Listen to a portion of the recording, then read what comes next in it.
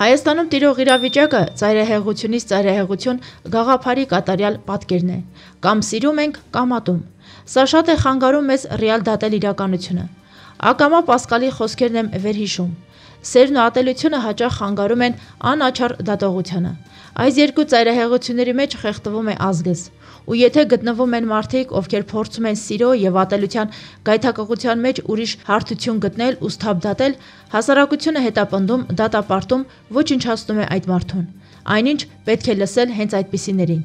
Եվ սիրո եւ ատելության մեծ չափաբաժինը բթացնում ու կուրացնում է բանականությունը։ Սա ուղակի պատերազմ է մեր եւ մեր միջև, որը տանում է փակողի։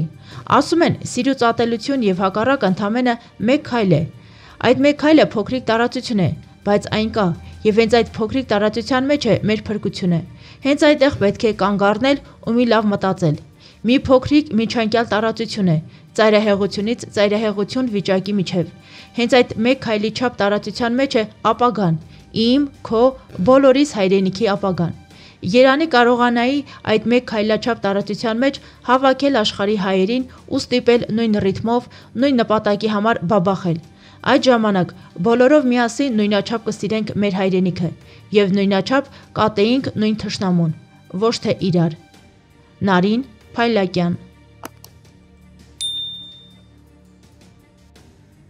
Բայց վերջին օրերին հասկանում եք, չէ՞ ինչա կատարվում ժողովուրդ։ Հայաստանը իբր պարտված երկիր իր փոքր տարածքով ու երիտասարդ դեռ 30 տարեկան անկախությամբ դավադիր պատերազմից ընդամենը 1 տարի անց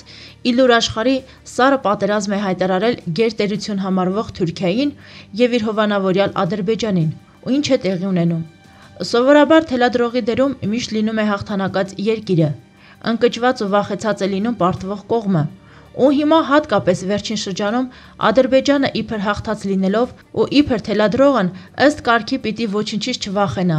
Արի ու տես ինչ է կատարվում։ Օր-օրի թե լսում, թե տեսնում ենք, որ շատ հայեր ռուսական կողմի աջակցությամբ այցելում են Արցախ։ Ադրբեջանցիների կողմից ճանապարհներին խոչընդոտներ չի ստացվում առաջացնել։ Փորձում են մոլորված հայերի գերի վերցնել։ Հետո ականջները կախ ետ են վերադարձնում։ Իդեպ Մի լավ հյուրասիրությունից հետո ազերը փորձում է որոտանով անցնող ավտոբուսին կանգնեցնել ու պոկել վրայից Արցախի դրոշը։ Ու հետո ստանում է ավելի կոշտ պատասխան։ Այսօր արդեն հայկական կողմը չի թողնում ադրբեջանական մեքենաները Մարտակերտի կողմ տանող ճանապարհով անցնեն ու խոճապահար փախչում են, երբ 3-4 հային սկսում են միանալ եւս մի քանիսը։ Այս ամենը, ինչպես ասացի, սառը պատերազմի արդյունքում որին շատ ավելի սարսափելի հարված հասցրեց ԱՄՆ-ի կոնգրեսի կողմից ընդունված վերջին երկու բանաձևերը։ Պարտադիր բոլոր գերիների վերադարձի եւ Ադրբեջանի հանդեպ պատժամիջոցներ կիրառելու մասին օրենքում ուղիղ մեսիջ ուղարկելով նաև Թուրքիային։ Այս ամենից րոպեներ անց հոգեվարքի մեջ է ընկնում իբր հաղթանակած երկրի նախագահ Ալիևը, երբ լսում է, որ Հայաստանի Հանրապետության վարչապետ Փաշինյանը պետք է ելույթ ունենա ՄԱԿ-ի գլխավոր անսամբլեայում։ Հիմա մի հռետորական հարց ամբողջ աշխարհին։ Ադրբեջանը հաղթած պետություն է, թե ոչ։